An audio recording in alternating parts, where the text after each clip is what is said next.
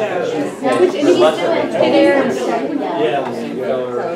We've been doing this for four years Yeah, now. we- so, She comes. I mean, it's, Very good. Yes, I so did. I if was, she uh, gets something. Yeah, she was looking to tell me that. Love. This, so when, does she, when happens? You better remember.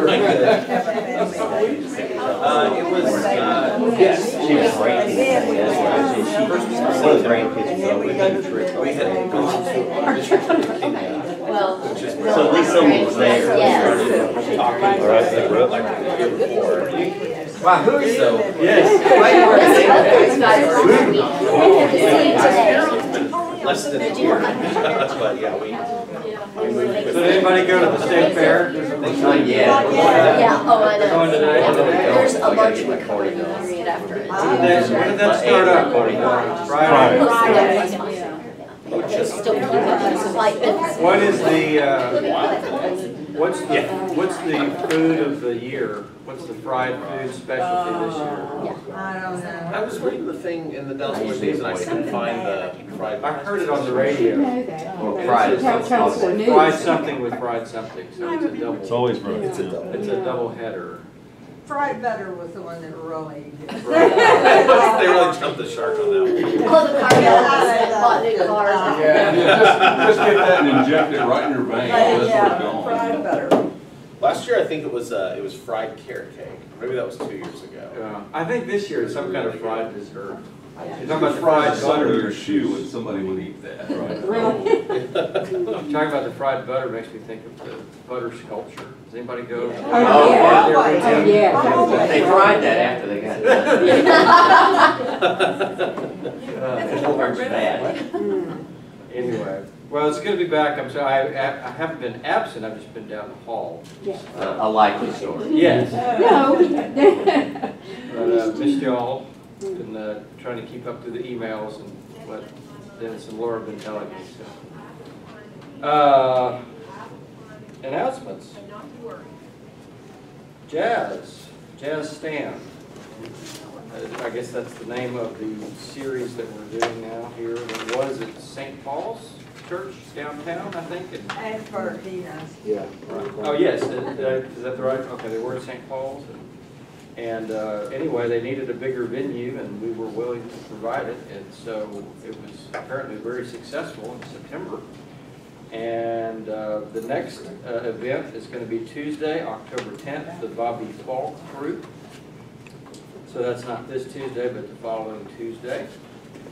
Free and open to the public, That's, that's the important part, it's free. yes, Now, last time it said you had to register, you know, that's still true? Yes, I. They kinda like to know Still who's coming. just a Hard to head count. know. I think, I think um, Mark Wingfield is, puts that out there, but he sort of knows the nature of our congregation. We don't RSVP. Actually, it was Yeah. always out there when they were downtown, so. that Oh, was- really? Yeah, Oh, they they just do. kind of want you to, so they know, they don't, they don't check, Yeah. they just want. Well, that was, that was a smaller venue, and they outgrew it, and Yeah. that's what we're saying, okay, so anyway, yeah. Hoping for more members. The fellowship groups that are meeting in homes, Yes, oh yeah, I was, that was, I had that on my, okay. uh, actually, I'll make that the last, well, let's just do it now since you brought it up. So last page is the, uh, this month, there will be a series of new member meetings for all members, but it's, the idea is that it's kind of a, uh, uh, to provide the experience of the new member meeting, but yet make it available to anybody in the church. Uh, And so they're doing it at uh, several homes of members at different, in different parts of the, uh, uh, different parts of the Dallas area. So uh, you can register online, or I, I- can you register at the church too? Maybe it's just online. Maybe the church office as well. Anyway, um, or, you know, you can just go, I think. you- But they, again, they'd like to get an idea about how many people are going to be going. Uh, So you can look on the here and see um, where your options are. You don't have to go to just one. You can do As many as you want to. Um, It's a time for fellowship and also um, a time, George will be, George uh, will be at every one of them. uh, And just sort of provide um, state of the church, yes, sort of an Yeah. informal talk about what's going on. Um, we'll field questions from people. Um, So anyway, that, that is going on. Uh, We're back to our usual Wednesday night routine. A couple of new classes are starting up, uh, led by, actually, you're leading one, how to talk to each other. Yeah. Which sounds silly, but uh, it's uh, we just started Actually, last week. This day and age. Yeah, it's, Yeah, we- We've actually talked about that. No more of that pesky sign. Greater Uh, degree of, the first, just this staring at you. yeah. exactly. No, it's it's um it, the the title of it is uh, "Divided We Stand: How to Talk Politics and Religion with People We Love," Oh, yes. I or remember. "Talking Politics and Religion with People We Love." Is actually With people we did love, or past That tense. sounds very dangerous. I'm, I'm using, uh, a, a, one of my favorite, um, writers is a guy named Jonathan Haidt, and he talks about, he's a moral psychologist slash, slash sociologist, and he's done a lot of work in studying political polarization, and so he, uh, did this twenty-five year long study on the nature of morality and culture and, uh, how we, uh, how we process information and how we respond to things we disagree with. And um, it, I read it about five years ago and changed my life. So we're kind of walking through that. So we just had the first week last week. last week was the first week? Last week was the first week. This week is the, uh, I think is the most important week, which is where we look at the different uh, foundations of morality, which is the part that is, I think, most interesting, and I think most people will find it mo- most interesting. Uh, So that's Wednesday night. So if you're interested, come join us. And then the other class is Heather Mustang is leading on, I always mispronounce this, The Enneagram. Enneagram. It's like a, a personality assessment Yeah. thing. Yeah, so think Myers-Briggs personality test, but this is a I slightly. think Rorschach. Lord, God. It's more, yeah, and it was, uh, the Enneagram was designed by Pythagoras, so it has existed since the, That and the of the. Pythagorean theorem. Yeah. Yeah, those are his two claims to fame. Henry, Jerry? tom- tomorrow night, Councilman McGough is having a town hall meeting at the Hamilton Park Methodist Church on the monuments. Kevin, you might want to come to see how people talk to each other. And It's at six o'clock at Hamilton Park Elementary on Schroeder. Okay. And so, yeah, I saw that he sent me that email and I thought, I need to go to everything he does, but I don't know if I have the courage to go to this. But then I decided that I did, so. Right. It's, it should be, it should be interesting, Kevin.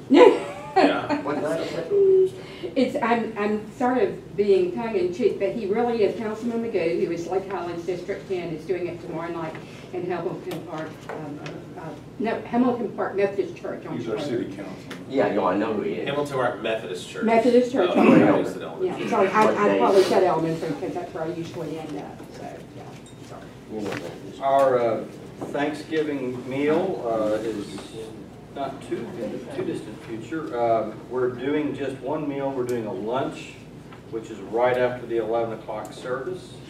So um, they are, different. yes, Um, and they're going to be, tickets for that will be available soon. Any other announcements that I have overlooked? Hello. Carolyn is on duty. Come Yes, I've got, oh, yes, I'm sorry. Thought I'd mention. Yes, that's Um, right. Luana and I give to several different organizations, you know, just for the fun of it, kind of, and for the tax write-off. Um, Probably would we. But anyway, um, they send us calendars. Oh, wow. Now, this is from, this is from people that we've given to and people that wish we would give to. I have never gotten so many letters from the starving Jewish children in my whole life. Uh, Who would have thought? Anyway, if you need a calendar for next year, there it is. Buy Nice. it. It's free, Thank take two, whatever you need, no problem. They must be able to do that so cheaply, because if you ever donate You to the think? Humane Society or the Wild or any of these like this, you know, it's, I've got every animal that's. I've, I've received something from every Indian reservation in Oklahoma. Yes. I mean, no lie, really, there's about a thousand of them. I'm doing that. My thank you for bringing those. My mom is so frugal that one day I came home and she was, she had a calendar from like, this was like two years ago. She had a calendar from like two thousand six.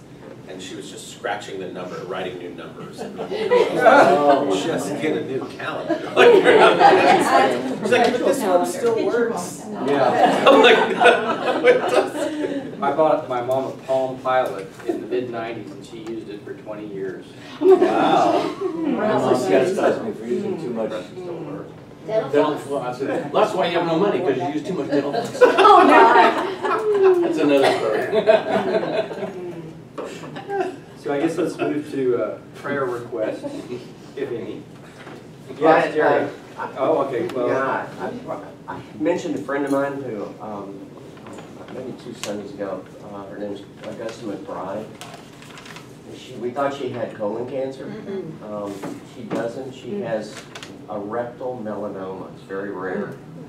Um, so she's, uh, and we're not sure there's a treatment for it, um, and we don't know where else it is in her body. She had a PET scan late last week, and we don't have the results yet, or she doesn't have the results yet, but that's different from colon cancer though? uh, It's a- it's a cancer, but it's, uh, you know, usually melanomas grow on the outside of the skin and they come in and Oh. they take them off, but you Yeah. can't do that with this because it's internal. Right. It's a very rare thing to occur. She had a melanoma years ago on her, on her face that they removed. Uh-huh.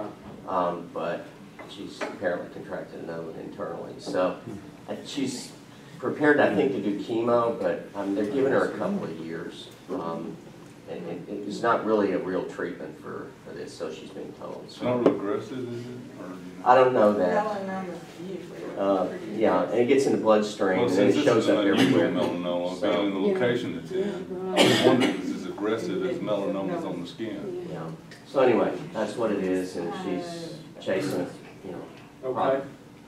Yeah. Augusta McBride, and then Jerry had one. Yeah, um, I know that this time is usually devoted to prayer request, but I just woke up this morning, and this is the first day that my left knee has not hurt, the right knee Wow. hurt, and, the- and I just want to say, what a blessing it is to be in, I don't remember very much about my surgery day, but I do wake up seeing Laura, and I thought, what is she doing here?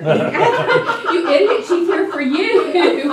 And it Look is just such a, a joy, and thank you, and thank you for the Sunday school lessons and the prayers and everyone that worked hard for food or taking me, and thank you. I just want to say, it's a wonderful, wonderful class to be in, and I'm happy. Good for you. You're always free to share those. This is prayers and praises. Yeah, this is definitely a praise, thank you, Henry. Okay, one praise, my daughter-in-law had the melanoma removed from her leg, and it, when they went back to do the revision, well, the revision popped open, didn't heal. But it is, he- they thought they'd have to do a skin graft, but it's healing slowly, not there. And we have a member who is a chaplain, her name's uh, Gina Biddle, and she is at Clements Hospital Hospice cha- chaplain, and she was with us when my sister-in-law died, and she is wonderful. And she has cancer of the breast. What's her name again? Gina Biddle, B-I-D-D-L-E. And she is the chap, what's it? She is a chaplain, she's a chaplain and, uh, at, uh, Clements on the hospice Hmm. floor. She Mm. went, yeah, she UT said, Southwestern. she said, I'm walking now with the people, I'm, I can walk and really walk in their steps now, of those that have cancer. But it's early, it's, it's very early, but they're having a little problem deciding on which, when they did the biopsy, they found some more malignant lumps. And so, but they don't have any evidence that spread, so, you know, she's very upbeat, very, it's, it's just having to have more tests done and more x-rays and. So those other lumps they found in the same area? Actually found it when she, in, during the surgery. And the, the type of cancer again is the, It's just breast cancer. Oh, breast cancer. Yeah. And that's You're your, what- I your daughter's, uh, My is daughter-in-law? Daughter-in-law. Uh-huh, had the melanoma. But that was, everything was clean on that, all the edges were clean, so we, it, it still wasn't melanoma, but at least it hadn't spread. Uh, Your daughter-in-law's name again is uh, Ashley, Ashley.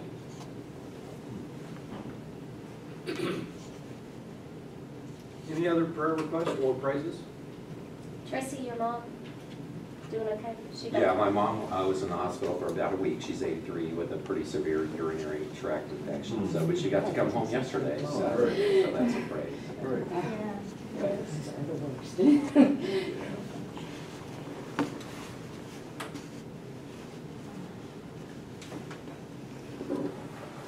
Anyone else? My Go. son Eddie from Houston was here this weekend, and we had a great time and all. Uh, he came for a job interview, and we just, they really want to move here, so we're hoping. Well, they flooded? it'll work out. No, thank goodness. What's his brother's name again? You said- Eddie. Oh, Eddie. Uh-huh. Eddie and Heidi, okay. Are those your only, do you have other? No, I have another son, Will, Okay. Will was the one that had. had the motorcycle. Right. But he's, he's great now. I'm not gonna mess with motorcycle anymore, is it? Oh, no, goodness. And no replacements either. um, did, do you have any feedback about, uh, from Sh- Sheree uh, Parnell about her job No, we haven't heard. I just heard about it, it, this, uh, I, I, you know, I haven't been in Uh-huh. class for a few weeks, and I just heard about it, we're going. I haven't heard anything. Hater, Interview. okay. Anyone else? Robert, we're happy you're back safely. Yes. Where did you go? It was in Switzerland. I went to Switzerland Oh, and uh, with my daughter, my daughter, and, and uh, she told me, she said, the first time she had the bed with her daddy.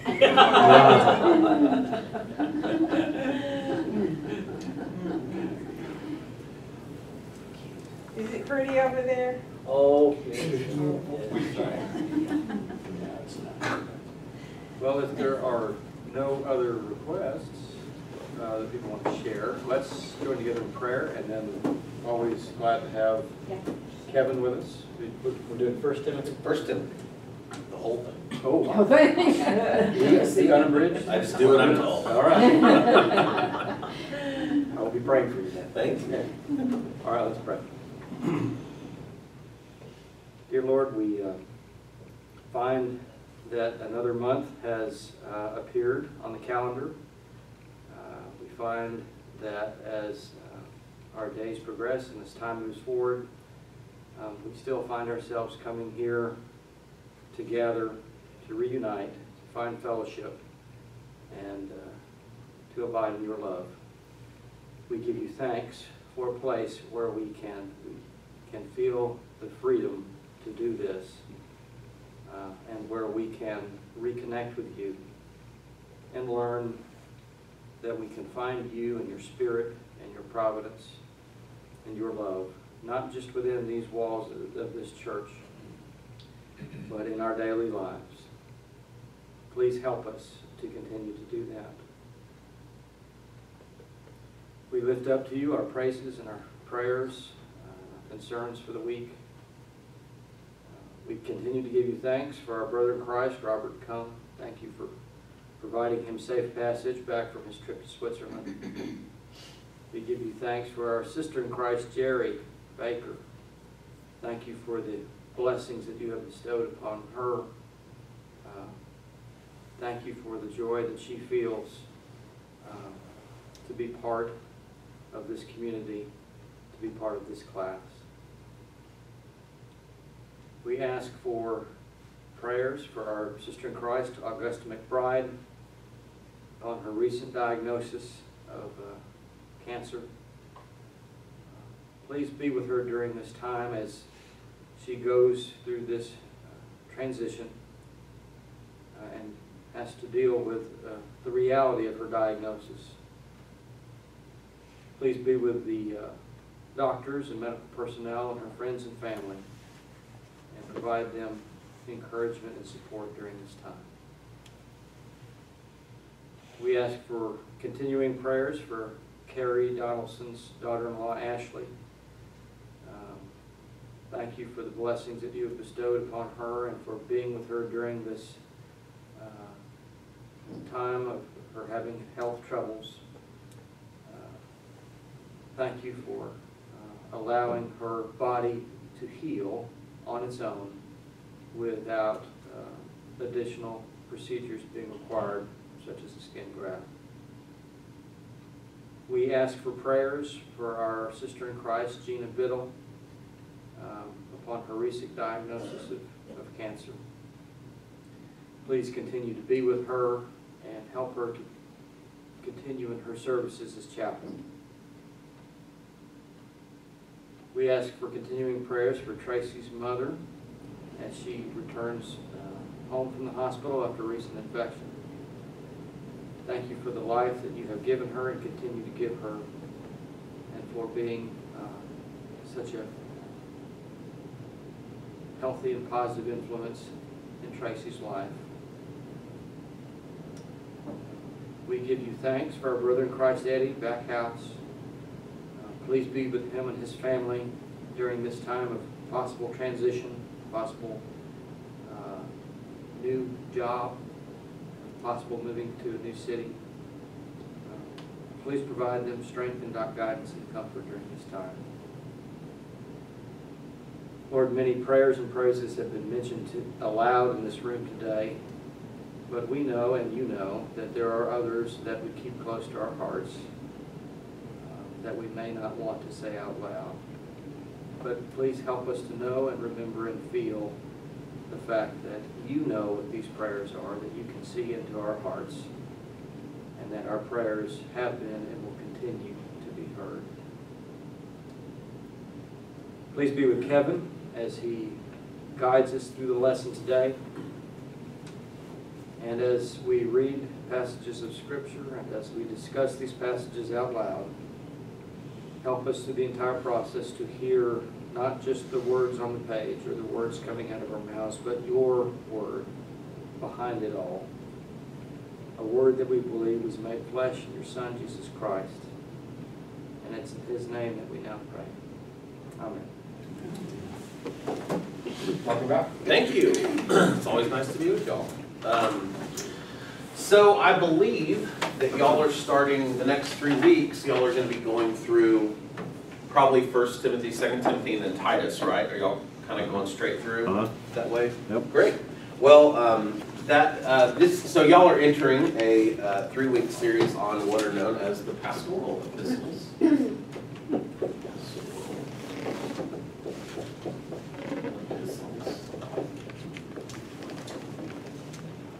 And what does epistle mean? Know? Letter. Letter, yeah. Letter. There you go. So Thessalonians not considered a pastoral? Uh, no, technically not. Um, it is, uh, it is considered a part of one of, of Paul's standard epistles, like his epistles to the churches, because he's, uh, the past, the difference between Paul's normal epistles and the pastoral epistles is the pastorals are sent to a single recipient, right? Okay. So first and second Timothy are going to Timothy. And then Titus is going to Titus, right? And so, um, the rest of the letters, like First and Second Thessalonians, First and Second Corinthians, are going to the church at Thessalonica, the church at Corinth, the church at Rome. And so those letters were intended to be read publicly and out loud.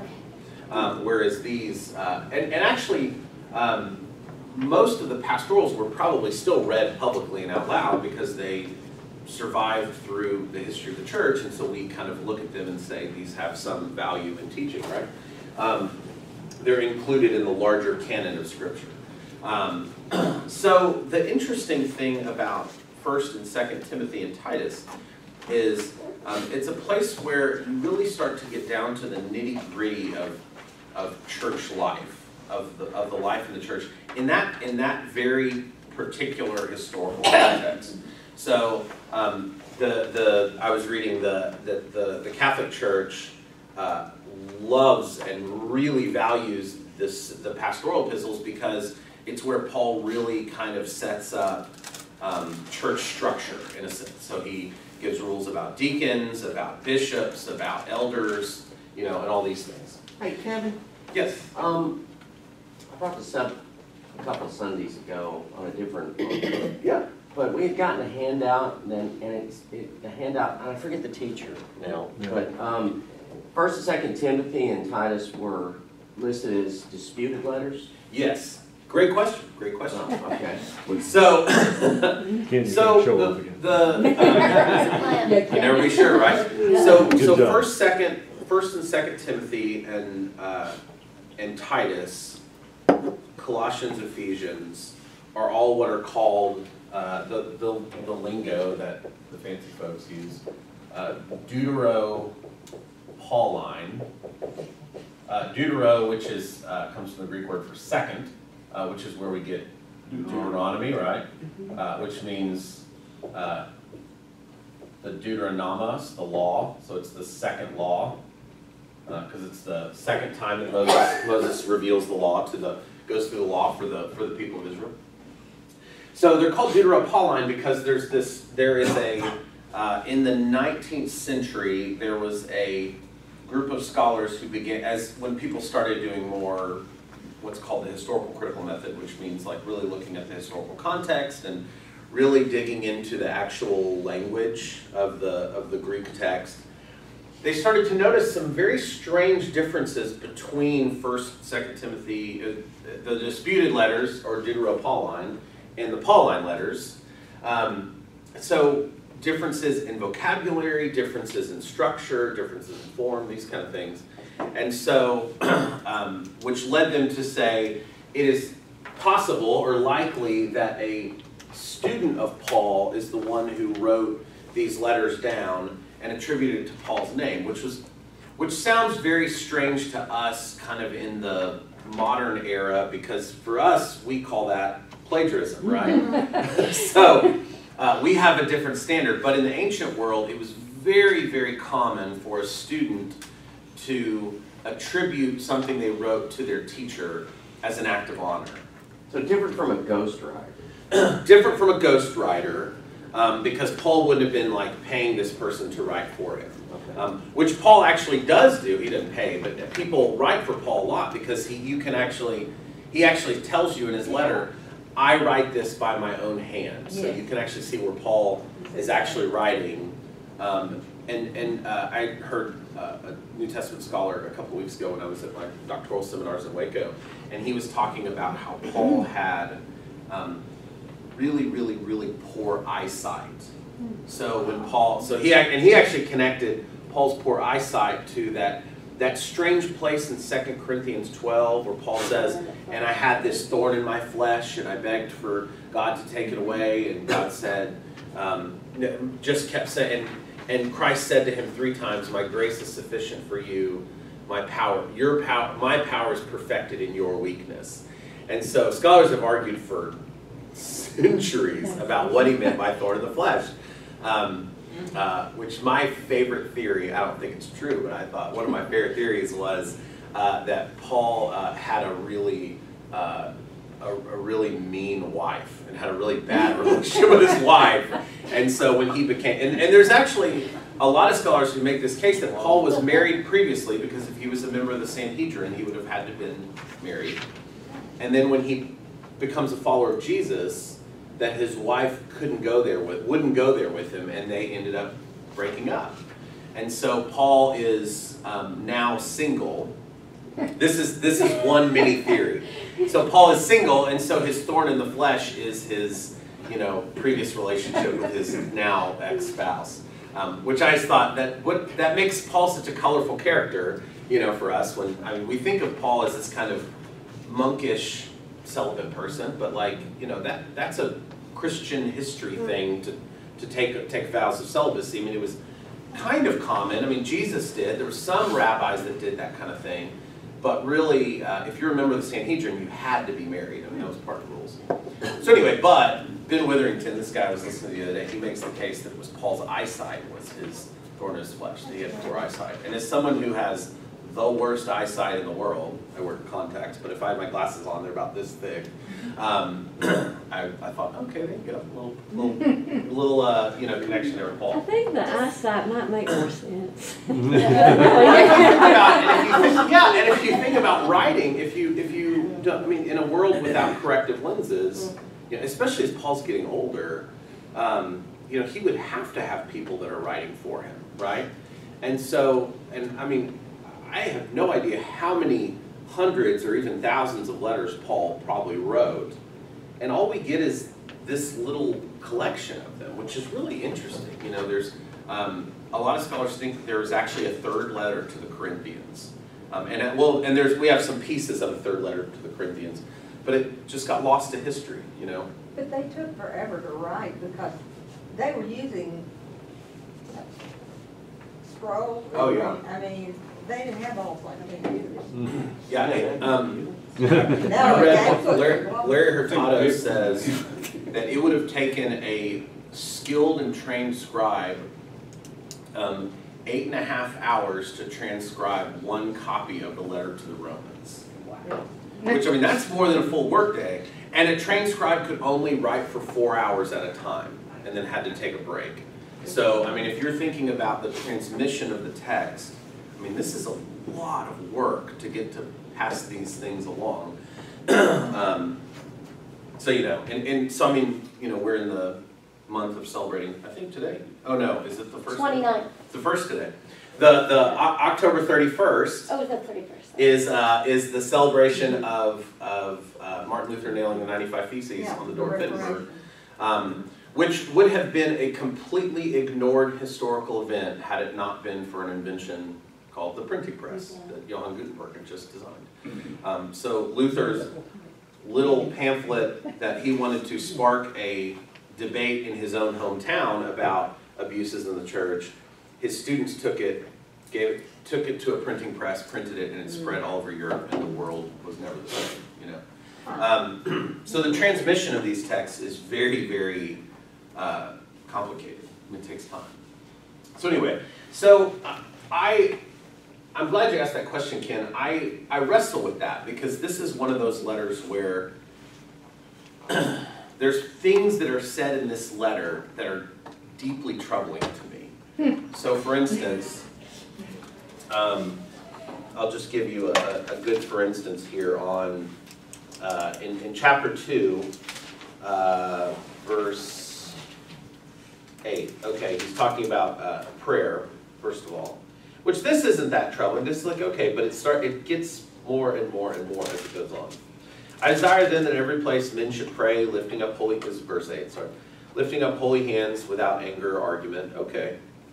Pray with your hands up, that was very traditional for Jewish mm-hmm. men, you pray with your hands out, right? Like, That's more Pentecostally now, we don't really do that, but okay, whatever. Also, that women should dress themselves modestly and decently in suitable clothing, uh, not with their hair braided, gold pearls, or expensive clothes. Feels a little micromanaging to tell women how to dress, but you know, okay, like we can all appreciate Well, modesty, that's I gonna win guess. over a lot of people, don't you know? And then it starts getting, yeah, and then it starts Like a Ralph getting, Lauren. yeah, and, and we, and we know how the pendulum swings on that kind of thing, right? So then it starts getting this, to this, let a woman learn in silence with full submission. I permit no woman to teach or have authority over a man, she is to keep silent. For Adam was formed first, then Eve, and Adam was not deceived, but the woman was deceived, actually Adam was deceived by the woman, and became a transgressor, transgressor, and she will be saved through childbearing, provided they continue in faith and love and holiness with modesty. That is a really, there are a lot of reasons why that text is really troubling, um, not to mention the fact that, um, women's value seems to be distilled down to whether or not they can have children. Um, but the fact that in 1 Corinthians, Paul says that when a woman gets up to prophesy, preach, share the word of God, make sure her head's covered. So he's already told us in an undisputed letter, like we absolutely know that Paul wrote the Corinthian letters. He told us that a woman should, uh, when, when a woman preaches, cover her head. The reason why they cover their head is because, and, and my professor at Baylor, this comes from a Baylor professor, so you know this isn't some crazy off the wall thing, right? So, Dr. Vaughn, he's Danish, he's very, he's very good. He said that uh, in that culture, and, and um, very common in cultures today, right? Women wear a head covering, right, when they're in public. And when a woman takes off her head covering, she only does so in the presence of equals. So either her spouse or people that are of her same class. So for a woman to remove her head covering in the ancient world, or even today in the Middle East, to, for a woman to remove her head cover, it signifies to everybody else that is below her on the socioeconomic ladder, you don't belong here anymore. So get out. And when you're doing church in a house, and everybody is the family of God, and everybody is the household of God, as Paul says a lot, well, the way to say that this is a public space is to continue to wear your public clothes. If we were meeting for a Bible study in my house and I walked out in my boxers and t-shirt, you'd probably be like, it's time to go. Kevin's like ready for bed. Like, oh, sorry, we didn't realize, you know. Um, one of the sociology professors at Baylor, he was telling the story, he was teaching a class on, uh, on morality and space and how we um, we do certain things in certain spaces that signify to others that this, this space is for this purpose, right? So he, in class, he was talking, and as he was teaching, he started slowly taking off his clothes. and he said, Where by the was time he started unbuttoning the top button, Is this could at Baylor? This was at Baylor, and he said he said he could see some of the you know little like sweet Baptist like you know eighteen year olds like their eyes starting to get bigger. and bigger. And then and then he he had basketball shorts underneath Oh, his pants on. He had workout clo- clothes on underneath his clothes, but then by the time he dropped off his clothes, like he said, people went ah, and they closed their eyes because you know. And, and he said, if you saw me walking through the gym wearing this, you would think nothing of it because this outfit belongs in this space, right? But what belongs in the space of the classroom is I wear a tie and I wear slacks and I wear, you know, that kind of thing. And so when Paul says women need to cover their head when they're preaching, the, the purpose of that is to say that this is now a public space. This is not just my home anymore. This is, this is where our church meets for worship, to worship the living God, right? And so the difference between public spaces and private spaces um, so often uh, it, it's nothing intrinsic to the space itself. It's the way that we treat it, right? Um, we we walk differently and act differently and breathe differently in the sanctuary than we might in a movie theater. But we're all still sitting in chairs pointing at something, watching something, right? There's something different about that space, but it's still just a space. But it's never just a space, right? I mean, so that's the weird, that's the, I think, the beautiful paradox of that kind of thing. You know, my, Go ahead. uh, I was just gonna say, ver- verse eleven, my Bible spun that positively. um, Interesting. Tell me what it because- says. Well, because it, it said that in, in that day, um, women were not allowed to learn. Women were not allowed to study. Um, they were, and, and so the fact that, that it says, uh, a woman should learn in quietness and full submission is acknowledging that women are allowed to learn. Um, and because in those days, at least that's what it says, in those Yeah. days, and I, I have to believe that's probably true. Uh, And, th- and that is such a that is such a great take on that on that verse, I think. Uh, so and and the, the the kind of the point I'm going to is is just that is we have a tendency to read these letters with with a with a pair of glasses that were forged in our own modern worldview, forged in the enlight the European Enlightenment, uh, forged by our race, our socioeconomic class, by our gender. I mean, all of these things that shape the way that we read the text. And so, in a in a post women's suffrage world, which was really just like a hundred years ago, by the way, y'all. That was not that long yes, ago. Um, you read something like that and you think, what a what a restrictive, uh, terrible, misogynistic text.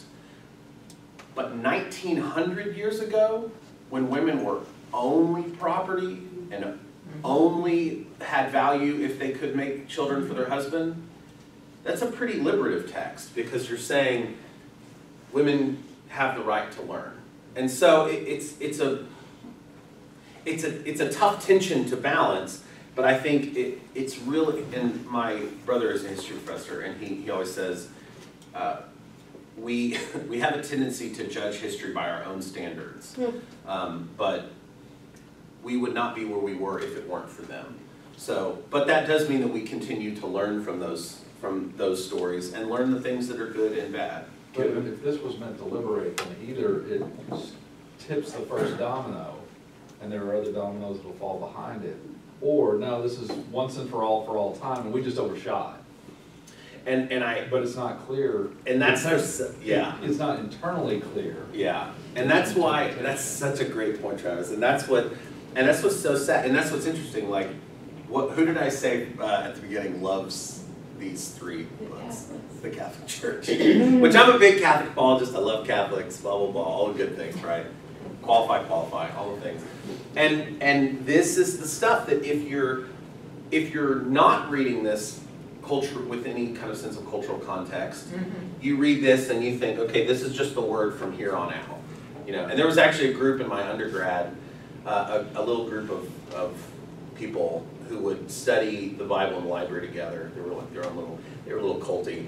And, the- and the girls, this is like in 2002, the girls would wear head coverings and would sit in silence in the library. And I heard Simmons and Hebley, like, what? it's in Saudi Arabia. Like, what are you doing? But they read this and they read it literally. And they thought, this is what Paul says, so this is what, how it has to be for the rest of the lifetime. Uh, that was one of the, that, uh, uh, in chapter two, that verse fifteen was one of the questions that I had about that women being saved through childbirth, which I, that's not right, but anyway, we'll go on. Um, the next one, the first one I had was in chapter one.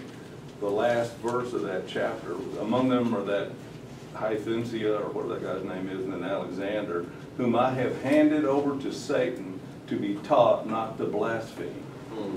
Now, what, huh? Where, Why where's, would where's that? t- uh, verse? One twenty. In the, 120, uh, oh, this is, this is in the, what the heck is this, New International Version. Which could be completely misconstrued. No, Um, no, you're right. So, I so, handed over to be taught not to blaspheme. yeah. Satan, gonna teach them not to blaspheme. Satan gonna do what? Yeah. Yeah, it's a, it's a strange book. So, um, so let, let's, to, to answer that, which I think is really, um, uh, I may be Let's go- here, so. No, no, it's great, and, and so, well, we'll just talk about that for like one second. So, in the early church, they had a concept, they had a way of understanding church discipline in a very different way than we do now. And so, when someone violates the rules of the community, and, and by violates the rules of the community, I don't mean that they were caught dancing on Friday night. I mean like, which is very Baptist, right? um, that's an example of a Baptist moral that we break, you know. Um, but that, uh, I mean, as it talks, as Paul talks about First First Corinthians, um, there's a member of the church who. Uh, she, who was probably kind of a, a young bride, so there's a, a guy that was a mem- there's a guy that's a member of the church who's a lot older. His wife, pro- what we what we think happens is his wife probably died, and then he probably remarried a younger woman. Well, he's got a son from a previous marriage who's probably about the, the age of this woman, and so his son and his new wife have began a sexual relationship. And so Paul, ta- I mean, this is 1 Corinthians, I think, 6. These are all the elements of a great soap opera. Really? I mean, I'm telling you. So let's see. Uh, verse. Uh, oh no, sorry. Uh, 1 Corinthians 5. It says, "It is actually reported among you that there is sexual immorality among you, even the kind that is not even found among the pagans, because Romans had laws against incest. So this is actually what's happening in the church actually violates Roman law, not even like Christian law or whatever. um, For a man is living with his father's wife, and you are arrogant. So you should not rather mourn. So should you should you not rather mourn? Should you not rather have mourned? Sorry, should you not rather have mourned so that he was so that he who has done this would have been removed from among you? Um, so he talks. Oh, here you go. For those who are absent the body, I'm present in the spirit. As I present, I've already pronounced judgment in the name of the Lord Jesus on the man who has done such a thing. Right, having sexual relations with his mother-in-law or his stepmom. When you are assembled and my spirit is present with you in the power of our Lord Jesus Christ, you are to hand this man over to Satan for the destruction of the flesh, so that his spirit may be saved in the day of the Lord. So that's another place where you hear that language. And so when the church thought of when you expelled somebody from the community because of something like this, right? Like this guy's having, sleeping with his stepmom, which is even an illegal action among the Romans. So if some Roman comes by, hears what's happening in the church, and go, y'all do that? Woo, man, that, you Christians are dirty. Like, that destroys the witness of the community, right? So Paul says you have to turn this man over to, as he says, to Satan. Just turn, turn him outside of the church, and then the hope is that he'll change his ways and come back, right? And likewise, uh, when he says, turn, turn them over to Satan so that they may not blaspheme. Um, it, it's a phrase that I think we can think of, of kind of euphemistically as to kick someone out of the church, but Paul believes that you're casting someone out of the community. In, in this world, like, what did the early church do together? Well, they prayed, they broke bread, but they shared everything. This They were a family was of faith. This says that the church was considered a sanctuary for Satan's power. Just say that again? That the church was a sanctuary from Satan's power. Oh, yeah, yeah, that's beautiful. Yeah, and, and if you think about the world that they live in, the second you walk out of the doors of that house, church that you're meeting in, mm-hmm. there's idols everywhere, there's blood sacrifices everywhere, there's brothels everywhere, there's, I mean, there's, I mean, you know, we, we use the phrase rape and pillage when we talk about Vikings and Romans and stuff. We don't mean that euphemistically. They raped and pillaged, like they just, they were violent, violent people. And if you live in a world where like that's the government that you're a part of, that's a part of the, um, and all, everything in the world is saturated in that, the church becomes the only safe place. And it becomes the only place where, as, as you see in Acts 2 and 4, it's the only place where everyone has what they need, everyone is cared for, everyone is valued. Widows and orphans are treated as a part of the, the community. Even slaves have a place to belong in the church. And so it's easy for us to, I think, read back and criticize Paul for not being more, you know, you should have been more progressive on, you know, women's rights and, and race reconciliation and all these things. One, like our concept of race was created by white supremacists in the 1700s. That wasn't created, like that didn't exist in Paul's world, right? Their distinctions are Jew and Gentile, right, and country, and country, uh, country connection. So it's easy for us to judge Paul, I think, in hindsight.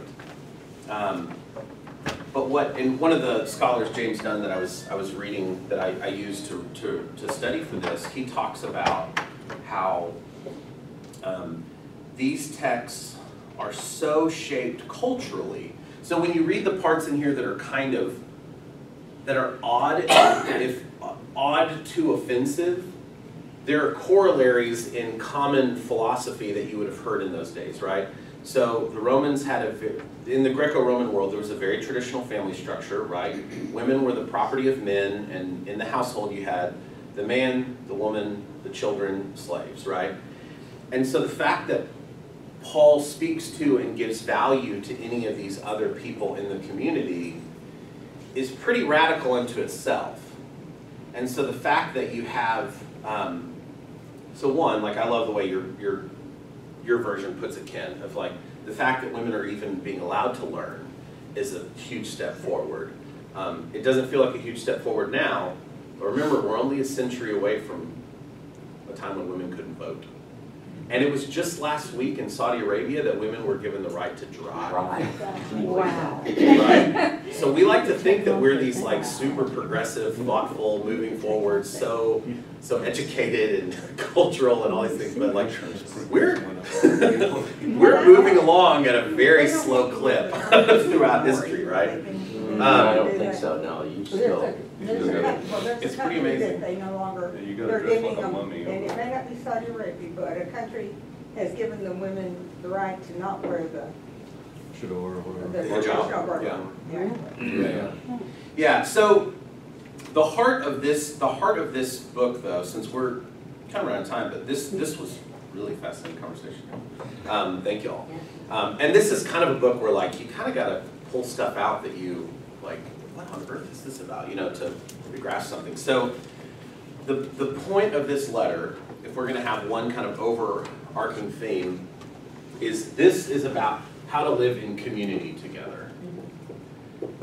And in the ancient world, um, your community was either your house, your actual family, your blood connections, and oftentimes, especially among Romans, uh, those family connections became uh, turf or clan warfare, which obviously continues on throughout history, and we still have that. You still have that kind of thing today, right? Um, but in the church, Paul Paul embraces this new language of, of the household of faith, of the family of faith, to show us that our connections are not just through our actual DNA, genetic blood, but through the blood of Jesus, who's united us all through the resurrection. And so it is, it is in the death and resurrection of Jesus that the walls that separated us previously have now been torn down. And so now, in this because of the cross, we are able to live in this community and we're trying to reflect the beauty of the new creation. And so when Paul in the in, especially in the undisputeds for one, but Paul spends so much of his writing time in the New Testament trying to trying to get it through our thick skulls that we have been that we have been saved by grace and we've been liberated from the law. And he even says here, uh, he says, so in, in chapter 1, uh, verse 3, so he's, so 1, before I read this, he's dealing with a group of folks called the Gnostics. Gnostics. Um, you've probably heard that term because it's kind of been popularized lately, which comes from this Greek word gnosis, which means knowledge.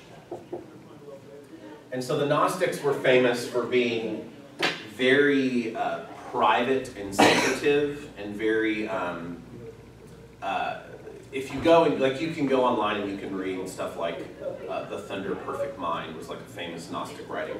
And it just sounds very like weird and mysterious. And, and so their whole thing was like, um, we have the secret knowledge. And if you don't come in and get a part of our group, you won't have the secret knowledge. And so there was this, so they created these very strange doctrines around Christian faith.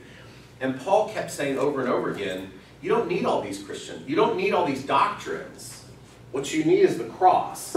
And so as he says in 1 Corinthians, I came to you and I chose to preach only Christ and him crucified. That is the, that is the gospel. The gospel is that Christ, through, through his death, sacrifice on the cross, has liberated us from the powers of sin, from death, from all of the things that divide us from each other, all the things that uh, shackle us down. And so, when we, as we, and, and he was very careful also to try to not give us a new moral code because we love rules, right? Like, rules are so easy. Like, Ten Commandments, really easy. Like, don't do these ten things, right? But he says, but he tries to get us past an understanding of the law where the law is just, um, where the law is the fence around us. But recognizing where the law is, and Paul uses this term when he talks about the law. He says the Paul, the, the law was our pedagogos, or which uh, is a nice Greek word that means nanny. Peda, like pedi- pediatrics, like child, and gygos, like like pedagogy. Y'all know that word, right? So your pedag- your pedagogos was your nanny. It was your teacher. And so he talks about the law, meaning like the Old Testament law, like all the rules and regulations in Torah. And he uses this term, he says it was our teacher, it was our nanny. But at some point when you grow up, do you need a nanny anymore? No, at some point, the rules that your parents teach you, that your nanny teaches you, they sink down into your bones and they become virtue. And you don't need to go, oh gosh, what do I do in this moral situation? You just know. Like you have a moral compass. And that and that is the spirit of the living God that Paul talks about, how we are the we're the temple of the Holy Spirit together. And so we continue, and so the, these letters, uh, you'll, you'll hear this kind of in this letter, eh, right here. So he's trying to speak to a group of Christians who are being slowly swayed away by these other teachers who are saying, no, no, it's not that easy. There's all this other stuff that you need to know. And it's only secret knowledge that I have, right? I had a bunch of Jehovah's Witnesses come to my house the other day, and I was like, I, no, no. It's all, all that stuff is unnecessary. The 144,000 people only gonna be saved, all that stuff, like, none of that's real. Like, you're making it way more complicated than it needs to be. They didn't know what they were getting. Right. So, so Paul, Paul, Paul says, or, or so the, the, the, te- uh, the letter reads this way. Paul, an apostle of Christ Jesus, by the command of God, our Savior, and of Christ Jesus, our hope. To Timothy, my loyal child in the faith, grace, mercy, and peace from God the Father and Lord Jesus Christ. Travis, would you read three, read three through four, three and four? Uh, sorry, chapter one, three and four. And we're gonna, we're gonna wrap up here really quick, I promise. We're gonna get in and out really quick. I urge you, as I did when I was on my way to Macedonia, to remain in Ephesus, so that you may instruct certain people not to teach any different doctrine, and not to occupy themselves with myths and endless genealogies that promote speculations rather than the divine teaching that is known by faith. You just like think, like people, people that speculate, myths, endless genealogies, things that don't actually lead to divine training, things that don't actually build you up. What good is it to think that only 144,000 people are going to save, right? That's like a Jehovah's Witness thing. It doesn't really help, because then you go, that's not many people. There's like seven and a half billion people on the planet. I'm probably not better than at least, you know, half of them, so why even try, right? So like these endless speculations, and that's what Paul is dealing with. These people who are trying to make faith so much harder than it needs to be. Because if you're the teacher and you're telling your students, this is how hard it is, that's a, one, that's a power move. so, um, two, Paul keeps saying over and over and over again, no, we have each other, we have the Holy Spirit in us to help us live in this new creation. So, uh, let's, yeah, somebody read uh, 5, uh, 6, and 7 goal of this command is love, which comes from a pure heart and a good conscience and a sincere faith. Some have departed from these and have turned to meaningless talk. They want to be teachers of the law, but they do not know what they are talking about or what they so confidently affirm. Is that where you want me to stop? Yeah, that's great. And actually read verse eight. Uh, we know that the law is good if one uses it properly. Yeah. It's, it's, one, I love that Paul exists always in this tension between law and grace, mm-hmm. law and spirit. So he's never saying you don't need the law anymore, because he keeps saying, no, it's a good teacher. But what he's saying, but then on the side of the spirit, he's saying, but we have been set free from the condemnation of the law. The law has still has something to teach us. Paul never gave up on his Jewishness but his Jewishness got so much bigger. His understanding of God's amazing grace became so much bigger. But it's not like Paul really ever quit being Jewish. He was culturally Jewish. So, I mean, he, he breaks bread with Gentiles. He might have eaten a little pork, which I bet was pretty uncomfortable for him when he first started doing these things. Like, oh, I'm really not supposed to do these things, but I have this deep theological conviction that God doesn't really care that much about these trivial matters that we keep putting on ourselves, right? God doesn't really care uh, exactly how you take communion. Should we have little cups or one cup? I don't know. What should we do? You know, like, it, it, it so much of it is the, the context in which you live, the, the, the communities that the communities that we gather into, right? Like when we did communion with my youth, um, we always did a single cup. Um, not for any theological reason, because it's just easier to pour a single cup and share it with, with 40 youth than it is to try to do all the little cups, right? Um, what matters is the, the, the way that we understand those moments and the way that the Spirit intercedes in our hearts and in our lives together as a community. And so in Paul's world, there were some very restrictive and strange to us cultural assumptions about how women were to act, how men were to be, and how the world was put together. And Paul continually enters into that world and says something like, sure, wives submit to your husbands, but husbands love your wives. Would have been a very, like, wives submit to your husbands, you can kind of picture all the husbands stand up and go, yeah, wives submit to your husbands. but husbands love your wives. Oh, okay. I have a responsibility now. And so Paul is always flipping the script on us in whatever case, whatever the case may be. And so while we have a tendency of wanting to read this, and I love the way you said that, and just read it as this for all time throughout eternity, rather than recognizing that this is speaking to a very particular